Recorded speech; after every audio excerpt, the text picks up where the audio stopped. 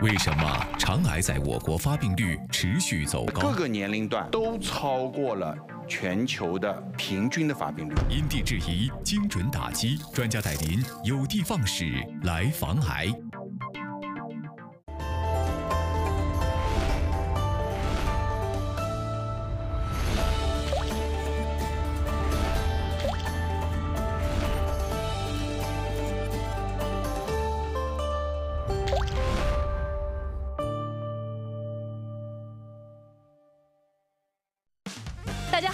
现在收看的是《健康之路》节目，本栏目由吉林敖东安神补脑液独家冠名播出。敖东牌安神补脑液，安神又补脑，睡好精神好。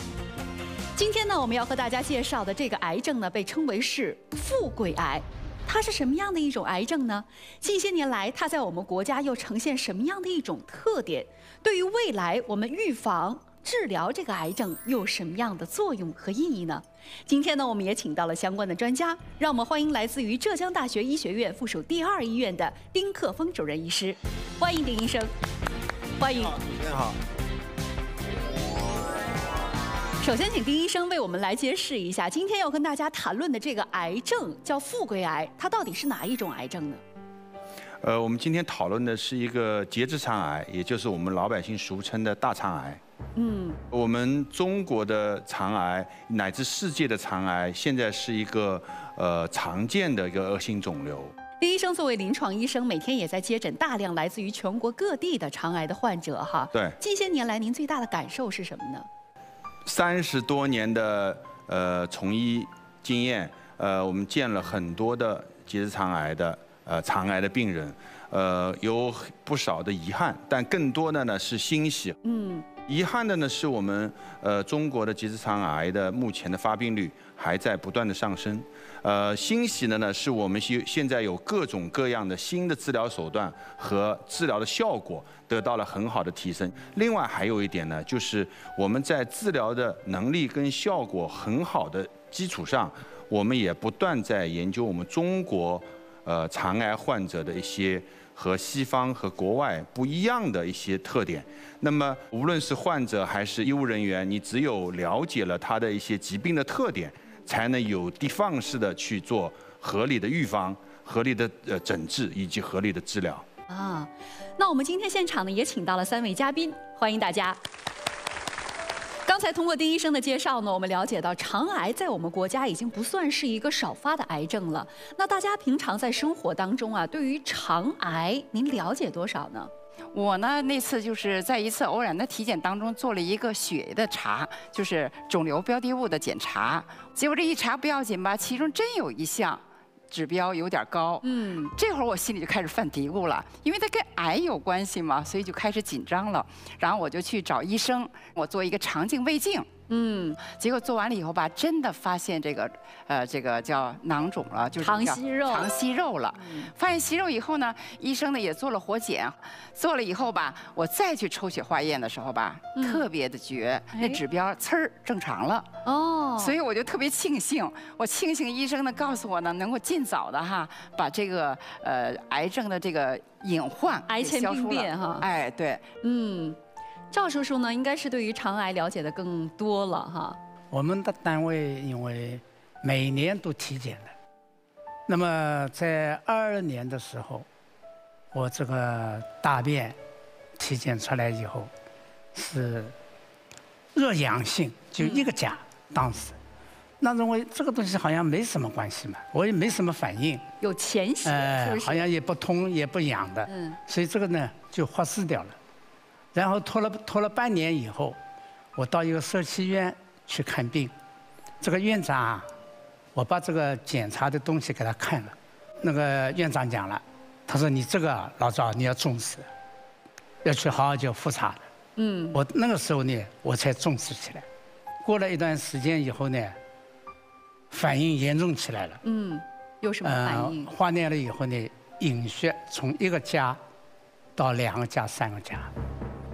那个时候我就我就慌了呀，那么然后听到人家讲的哦，你这个肠癌啊，到时候手术的话有那个挂尿丝蛋的呀，嗯，呃，又是什么要要什么什么的呀，所以我很焦虑，很焦虑。当时这个情况，嗯嗯。那么后来呢，过了段时间，我就找到这儿医院，诊断结果是什么呢？诊断结果就是恶性肿瘤，嗯，大肠癌，就是腺癌。我这个是几年以前呀，就是说有一段时间呢，就是每当这个哎大便就稍微自己憋哈。就疼，一憋就疼，然后呢，刚开始也没注意，结果后来越来越疼，越疼我就自己上网查了查，查查越越查，越查越害怕，越查越害怕，就是有点跟这肠癌就对上了。但是呢，说去医院查吧，不查可能是不行，查吧又怕真查出来，这个就是思想压力特别大。嗯，刚才通过三位嘉宾的分享，我们发现啊，这个肠癌呢，其实离我们现实的生活真的并不遥远。似乎呢，在我们的生活当中，或远或近，都有朋友、家人，甚至是自己都得了肠癌。那通过您的临床研究发现，最近这些年，我们国家肠癌呈现一个什么样的特点呢？能不能请您为大家来分享第一个中国肠癌的特点？我们来揭示我们中国肠癌的。第一个特点就是我国的肠癌的发病率最近的几十年在迅速的增长。嗯，这个迅速的增长是怎么个呃迅速法呢？就是第一个呢，我们整个发病的数量是全球最大的。我们二零二二年国家癌症中心公布的新发肠癌的数据是五十一点七一万，那么这个五十一点七一万已经占到了我们所有的当年的。恶性肿瘤的第二位占到了百分之十点七左右，啊，也就是说已经是我们所有恶性肿瘤除了肺癌以外的最高发病的这么一个恶性肿瘤。嗯，而且还有一个特点呢，就是它是每年的发病率都在增长，就是一年比一年多。我们无论是呃年纪轻的还是年纪大的，呃各个年龄段，呃都超过了。全球的平均的发病率，所以这几个特点呢，就汇总成为我国肠癌发病率迅速增长，而且是增长的速度没有得到缓解。嗯，我们国家的肠癌的发病率是在增加，而其他国家发病率呢，他们也是在同步的增加吗？还是有所下降呢？欧美等发达国家呢，现在已经有下降，而且每年百分之三左右的比率在下降，最近二十年。应该说，他山之石是值得我们去学习的。嗯，为什么会形成这样的一个现象呢？我相信这个是一个肿瘤防控、防治、筛查的一个综合工程。就肠癌来说，呃，其中有一个最直接的一个和大家相关的，就是一个做肠镜等筛查的这么一个方法。我们中国人的肠癌的。呃，健康人群也好，高危人群肠癌筛查的顺应性是明显是低于欧美的。那么我刚才前面提到了，呃，美国以及欧洲的肠癌发病率现在在不断的下降，最大的得益是来自于它的肠镜等筛查方案的普及和应用。呃，它整个人群的生活方式啊，呃，整总数没有大的变化，但是它干预的。这个呃措施上去以后，使得取得了很好的效果。而我国正好相反，呃，我们老年病人不断在增加，我们的生活习惯以及饮食机构在最近几年发生了很大的变化。这些变化都是使肠癌发生的这些变化。那么，但是我们的干预措施没有上去，我们的筛查措施没有上去，呃，早期诊断的措施没有上去，导致了我们最近呃二十年我们的肠癌发病率在不断的上升。嗯，一开始的时候我们也提到了哈，肠癌呢也被称为是富贵癌。对，这是不是和我们国家近些年来呃经济水平有所提升，人们的这种饮食习惯慢慢也发生改变有密切的关系呢？益安宁丸提示您收看《健康之路》节目。这是不是和我们国家近些年来呃经济水平有所提升，人们的这种饮食习惯慢慢也发生改变有密切的关系呢？密切相关。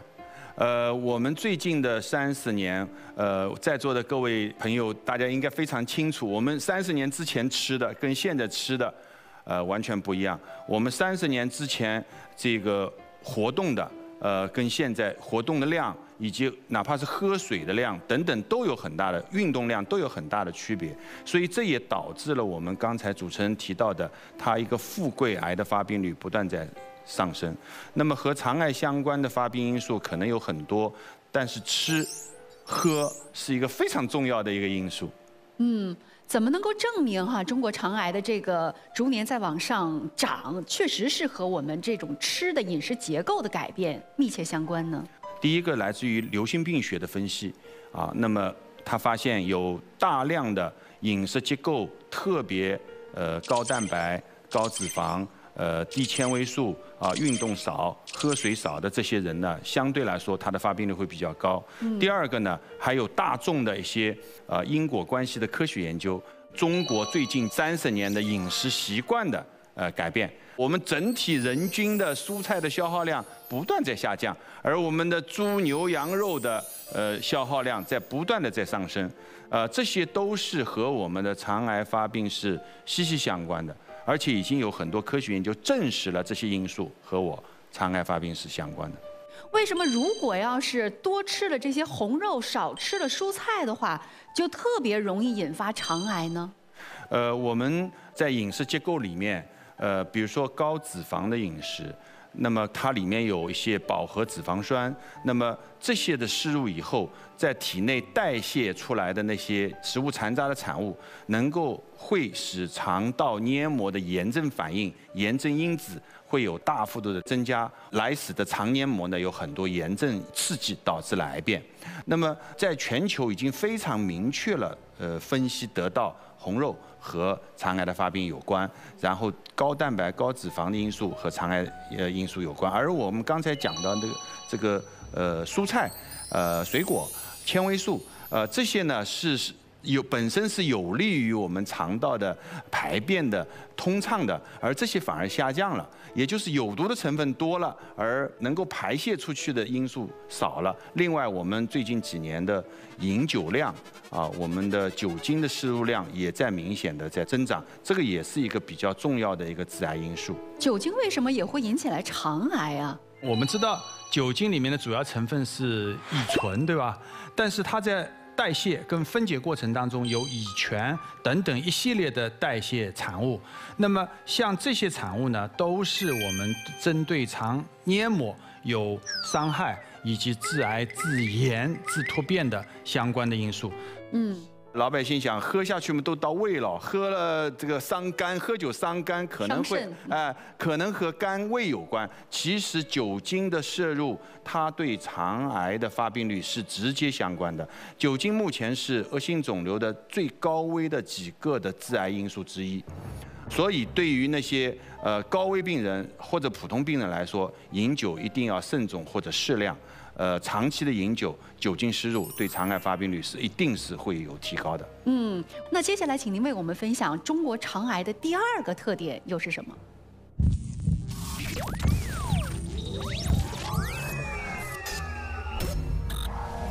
第二个特点是我国肠镜检查接受度低。嗯。这个我想问一问赵叔叔哈，当时啊，您在确诊肠癌之前有没有，比如说定期的去主动的做过肠镜的检查？没有，我们单位是每年都体检做体检，嗯，但是就是这个肠镜没做。为什么没？为什么没做呢？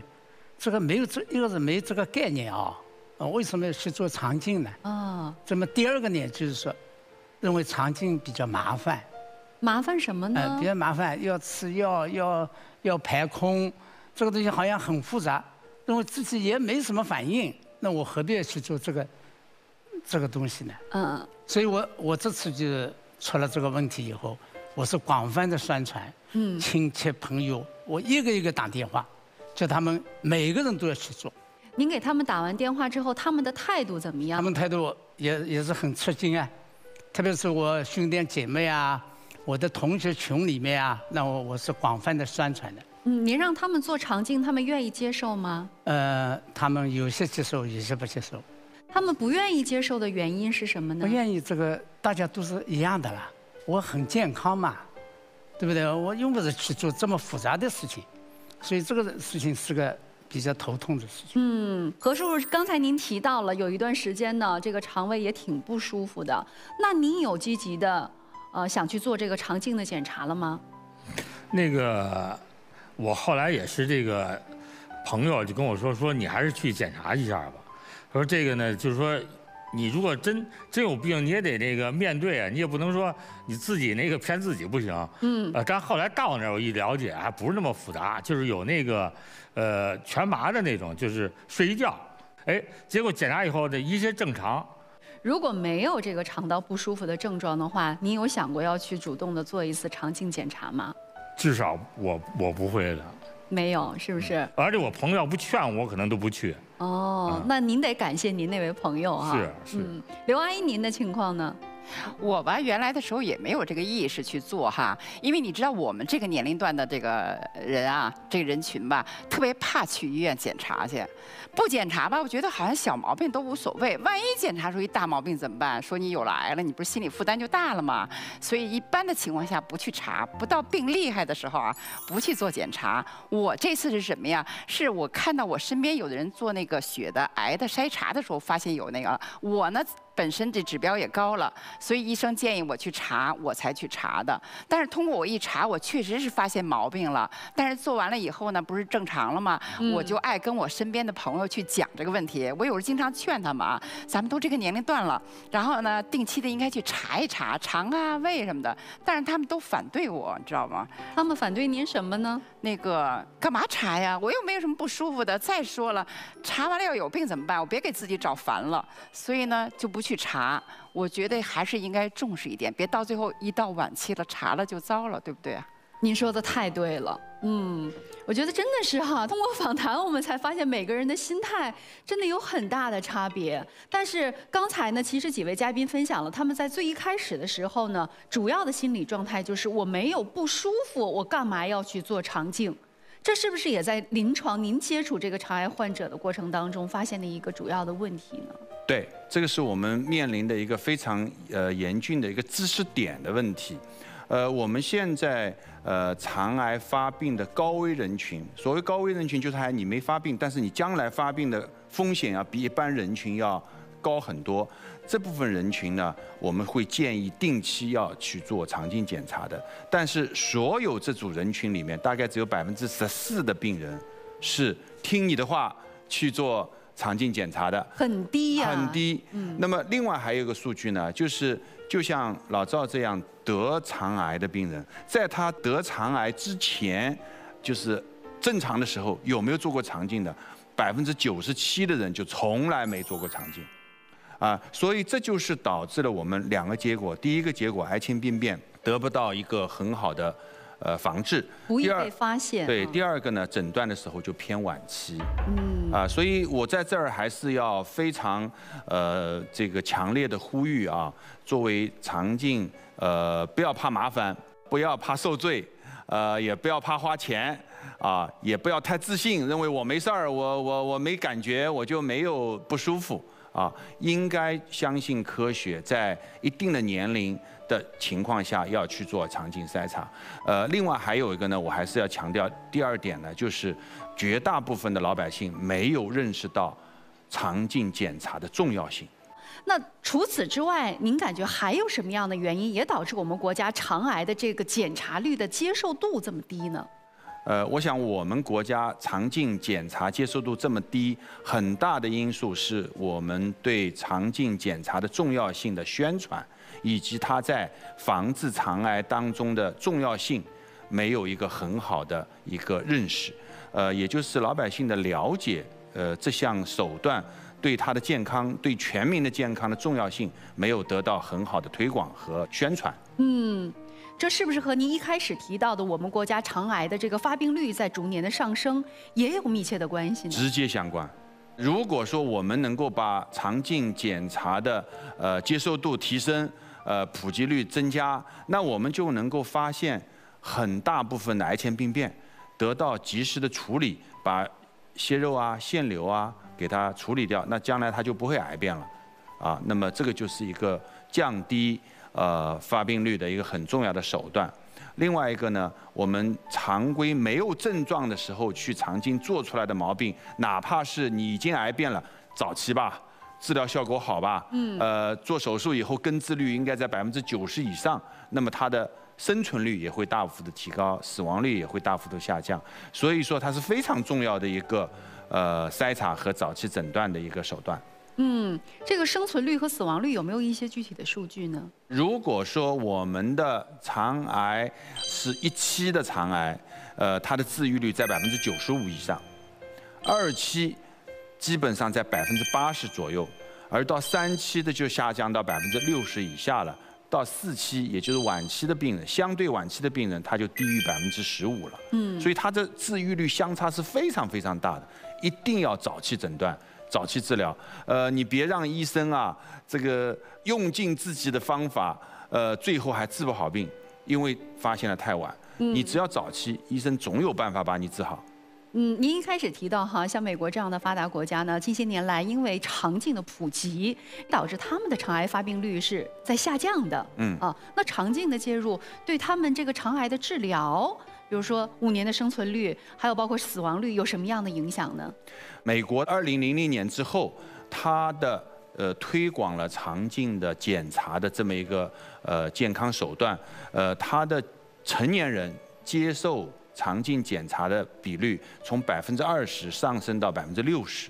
嗯嗯，呃，全民他有百分之六十的人该到做检查的时候，他就去做肠镜检查了，这样使得他发现了大量的呃癌前病变，进行了处理，这也使他发现了很多早期肠癌的病人得到了及时的救治，呃，这是我们认为在最近的二三十年当中，美国肠癌发病率持续下降，它能够保持很高的治愈率的一个最重要的因素。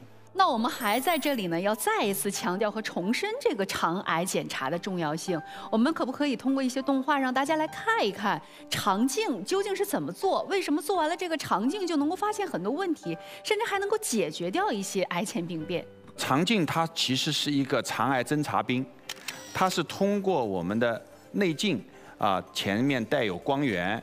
啊，然后呢，呃，通肛门里面一直把整个大肠从头到尾全部仔细的侦查一遍，呃，也就是最直接的、最直观的，能够发现肠黏膜上面的各种变化。你看前面就也可以看到有一个息肉，啊，这样的息肉我们在肠镜下面进行处理就会非常方便，一个圈套器啊，然后把这个息肉。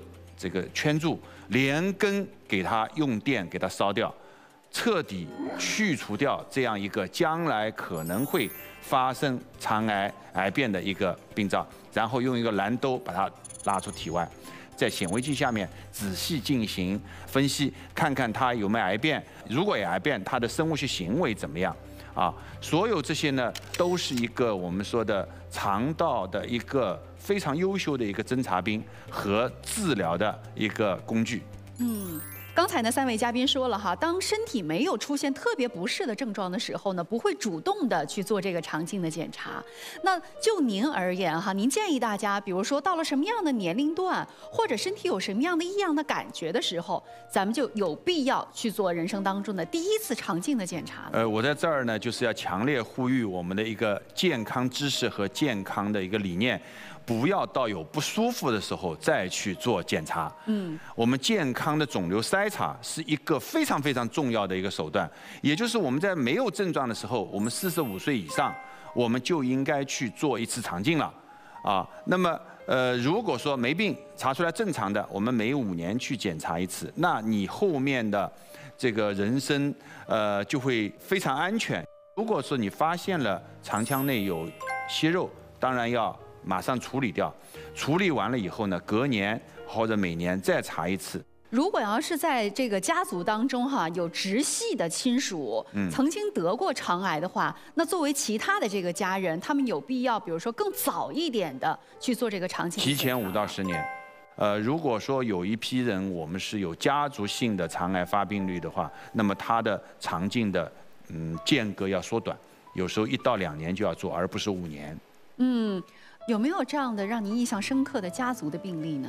有这么一个家族啊，他妈妈得病，呃，他的姨也得病。那么，然后我们在这个家系当中，我们去动员他。你说你这个很危险呐，你得去做肠镜检查。结果一肠呃肠镜一检查，发现他家系里面得息肉的病人的比例非常高。嗯。那么针对这些病人，我们进行了及时的息肉干预治疗，希望他家族里面这些病人将来不要发生癌变。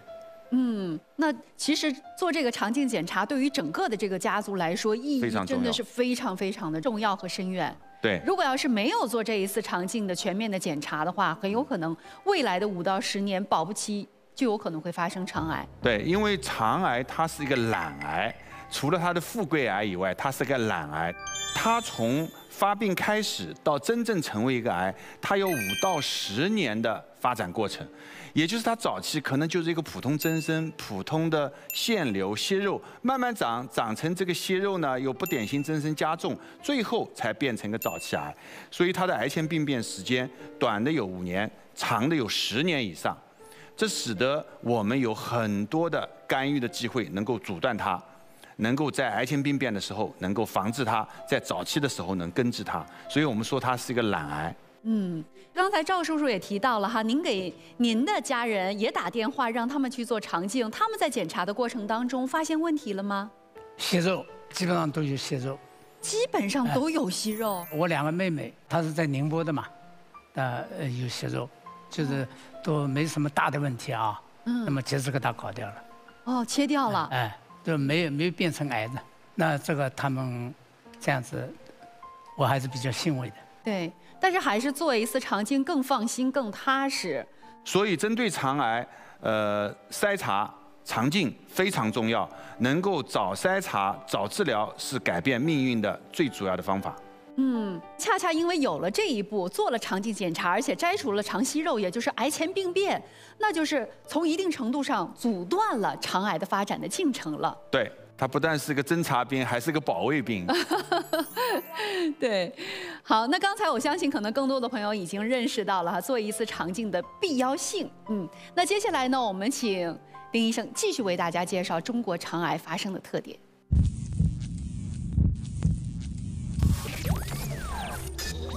第三个特点是，第三个特点是我国肠癌患者保肛手术的成功率高。保肛手术可能对于很多朋友们来说是比较陌生的，对，能不能先跟我们科普一下什么是保肛手术？保肛手术是针对直肠癌，呃，来保留它的肛门，然后呢，保留肛门的器官，然后保留肛门的功能的一个成功手术。我们可以通过道具让大家来认识一下，可以吗？好，来，请上道具。您现在收看的是《健康之路》节目。本栏目由吉林敖东安神补脑液独家冠名播出，敖东牌安神补脑液，安神又补脑，睡好精神好。这个模拟的就是人体的肠道，保肛手术怎么做呢？保肛手术是针对直肠这个呃区域的病人的根治性的手术。嗯，我们直肠这一段呢是非常临近于肛门的。嗯，我们人体的肛门对于我们消化系统的排泄是非常重要的。如果呃，肛门被切除就要挂袋子了，嗯，呃，非常不方便，呃，但是保肛来说难度也是非常大的，既要把肿瘤切干净，又要把肛门保留下来，嗯，那么肿瘤的位置、肿瘤的大小就是非常重要。如果说这个肿瘤是距离肛门有七厘米啊，那么我们肛门是在这儿，肿瘤是在这儿，那么我们第一个要求，我们要把肿瘤要切干净，所以周围要要要给它。呃，这个根治性的切除，我们在肿瘤的下缘切一到两公分的距离，然后把肠子重新再接回去，那么就保肛这肛门区域的功能就保住了。但是如果说这个肿瘤是在距肛门四厘米或者五厘米左右啊，比较低的位，更近了，很更近了啊，我们只有四五厘米左右，那么这一段要去切除它。它的难度就会非常大了，嗯。因为作为低危保肛来说，我们要给它完整的做肿瘤切除，肿瘤下缘我们要切到一到两厘米，多切多切啊两厘米。第一个要保证根治，要切干净；第二个要保持功能。嗯，所以这个手术难度是非常高的。是，所以说我们采取几个措施，第一个措施要让这个肿瘤要治疗，通过治疗也给它缩小。啊，比如说缩小以后呢，它就缩回去了，又缩回一厘米。那么这个在寸土寸金的这个宝钢的这个空间里面呢，就得到了一个手术操作的空间。嗯。所以我们这时候在肿瘤下面的一到两厘米把肿瘤切掉，那么剩下还有三厘米左右的直肠啊，那么然后把上面的肿瘤也切掉。这上面的肠子也切除，呃，把淋巴清扫能够清扫掉以后呢，把整个就是把肠道和肿瘤一起给它去掉。对，把肠道肿瘤以及周围淋巴结全部给它去掉以后，我们要把肠道的连续性要重新接回去，所以这时候我们把它重新做吻合，大便就能够又从肛门排出去。嗯，所以。要完成一个这个成功的保肛手术，既要保留肛门的形态，也要保留肛门的功能。保留肛门的功能有很多很多的要求，就是粪便还要通过肠道顺利的走这条新的路，然后顺利的排出体外。这也是所以下面这段肠子越低，吻合越难。嗯，如果再往下，就更难，接起来难，它的功能的维护也难。嗯。这个确实是难度不小的一个手术。对，我想问一下赵叔叔哈，您的肠癌发现的时候，它是离肛门有多远的距离？您清楚吗？六个厘米。六厘米，那已经很近了哈。对了，对。这个符合保肛手术的条件吗？呃，如果这六厘米的肠癌在二三十年之前，可能就保不住了。嗯，但现在我们技术在进步，我们治疗手段在进步，通过缩瘤使它肿瘤缩小，然后通过我们一些手术技术的完善，成功的进行了保肛。六厘米也可以，那最短你们做过多少厘米的呢？呃，从我个人的呃意见来看呢，七厘米以下我们叫做保肛手术，嗯，五厘米以下呢叫低位保肛手术，四厘米、三厘米左右那些呢就是我们叫做超低位保肛手术。它的手术的难度和手术的技术都有所不一样。其实作为保肛手术来说呢，是一人一侧的外科手术战役。呃，它不是一个刚才剪一下就能实现的，它有周围的神经啊，以及是功能啊、肌肉之间的层面啊，在保证它肿瘤能够手术切干净的同时，把肛门要留下来。策是哪个策？策略的策。哦。啊。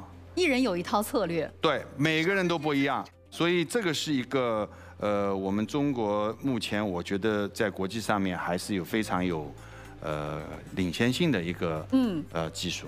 好，清楚了，谢谢。好，我想请问一下赵叔叔，您手术之后已经有多久了呢？啊，一年，一年多了。现在恢复的怎么样？可以说自我感觉非常好。嗯，我对肛门一点没影响，哎，手术做了以后一点没有影响。哦，嗯，现在一天能排一次便吗？呃，基本上每天都是一到两次。哦，那很好哦。嗯，因为我我有这个病嘛，所以这个大便拉出来，我是每次都是要很仔细的去看它。嗯嗯。啊，那个是不是黄颜色的呀？是不是褐色的呀？嗯。那么特别做了以后，基本上。那个是三个月复查一次，嗯，到丁院长那儿，那么现在已经一年多了，所以治疗的效果真的非常的理想心情各方面也比较，比较比较好了。是啊，看您现在的这个状态，我估计可能很多这个呃曾经患过肠癌的朋友也会非常羡慕您目前的这种恢复的这种水平。所以我女儿讲嘛，你是很幸运的，老爸。是呢，所以要特别感谢丁医生以及他们的团队啊，真的。嗯，啊，那丁医生哈，在您的带领下，我们医院现在呃做这个低位的保肛手术，近些年来有什么样的一些成绩吗？呃，我相信和我们医院一样，很中国的很多优秀的单位。都在最近几年，呃，大幅度的提高的保肛率和保肛效果。嗯，就我们医院的数据来看呢，呃，二零零零年吧，二十年之前，我所有的肠癌，一年肠癌的病人，大概有百分之九的人是把肛门都切掉了。那到了二零二零年，二十年以后呢，只有百分之一点八了。哦，这个对病人来说太重要了。嗯，所以这个是一个非常大的进步。嗯，一方面是医生水平的提升哈，对。除此之外，还有什么样的一些因素也使得我们最近这十年、二十年保肛率在逐步的提升呢？呃，就跟主持人讲的，手术技术的提高是最根本的。呃，手术技术的提高来自于呃操作的经验。呃，我们知道中国的外科医生在这个领域当中，他的实践的次数跟机会，以及专业的精神，在世界上面一定是领先的。那么另外一个呢，也用各种各样的先进的手术设备，包括腹腔镜技术，呃，然后这个达芬奇技术等等这些，还有综合治疗的缩流技术，要肿瘤缩下去以后再保肛。那么这些是技术问题。另外还有一点呢，就是我们中国人的和西方人有所不一样的天然的优势，就是我们中国老百姓他的肠道气室和炎症的比率比较低。就是刚才我不是把那个肠子接回去吗？接下去这段肠子的好质量好，也是有利于保肛的。那而西方国家呢，它乙状结肠，也就上面这段肠子的气室炎症的比例非常高，所以他们往往要扩大切，就要切的范围要大一点，也大的大大的影响了它的保肛这个效呃效果和呃这个百分比。所以我说，我们中国特点就是保肛率高，这是一个又有天时，又有人和，又有医生努力的一个结果。嗯，那目前我们国家哈这个低位保肛的手术的水平，与世界同行业相比较，处在一个什么样的？领先水平。我想，如果说综合治疗，中国是跟着呃欧美走，呃，那保肛手术，呃，我有信心讲是欧美跟着中国医生走。哦，为什么呢？呃，因为我们的实践的结果、实践的经验，以及是最后的效果，呃，都比他们强。嗯，除了做这个手术的治疗之外，哈，如果要是患了肠癌，尤其是晚期的肠癌的患者，呃，还需要再做一些放化疗的治疗吗？根据适应症，有些病人是需要做的。如果说是进展期的肠癌，呃，无论是直肠还是结肠，呃，到了三期，如果有淋巴结转移或者有肠外侵犯，那么这部分病人呢，呃，我们是需要做放化疗的。那有些病人是需要在术前做放化疗。嗯，那通过您多年的临床的研究哈，包括接触了那么多的肠癌的患者，也帮他们找到了人生的希望。那您可不可以为我们展望一下未来中国肠癌会有一个什么样的走势？针对中国目前的状况，未来我想可以预期，第一个重视呃预防，也就是我们的生活习惯、我们的饮食习惯的良好，是我们防治肠癌的。非常重要一点，呃，也就是我们防范于防病于未然啊。第二点呢，我们说是要早筛、早诊、早治，呃，通过肠镜啊、呃大便检查、肿瘤筛查的这些方案，能够使得肠癌呢能够早期诊断啊，得得到预防。第三个呢，呃，我们要相信呃医学，呃，如果得了肠癌，你要相信我们能够给它治愈。啊，那么能够保留功能，啊，能够提高生活质量，三者结合起来，我们最终达到的目标，使中国目前肠癌的发病率要下降，死亡率也要进一步的下降。好，非常感谢丁医生今天的分享。好，谢谢大家。也感谢我们三位嘉宾的参与，下期再见。